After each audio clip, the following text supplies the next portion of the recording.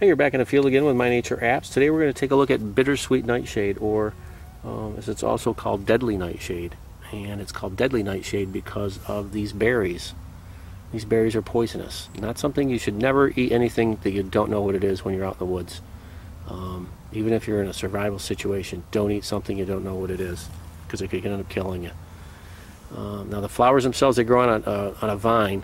Uh, this vine can grow up to eight foot long. It's just going to twist through everything else and the flowers are about a half an inch wide, half an inch to five eighths of an inch wide.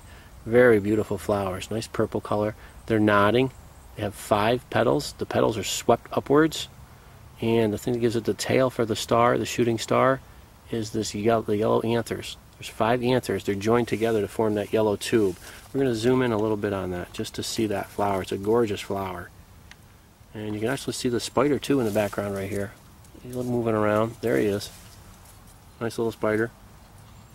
Um, one of the other features of this wildflower is the leaf. And we're going to show you a leaf. The leaves are three-lobed and very distinguishable. Uh, I've got one right here. The terminal lobe is the largest. There's your leaf. And those can grow up to three inches long. They've got a smooth margin on it. But very distinguishable. You see this leaf and you see the flower, you're going to know that this is bittersweet nightshade just a, very attractive plant, an attractive vine. Um, gorgeous colors on it. That's about it for today. Thanks for joining us. Find us on the web, mynatureapps.com. Have a great day in the field.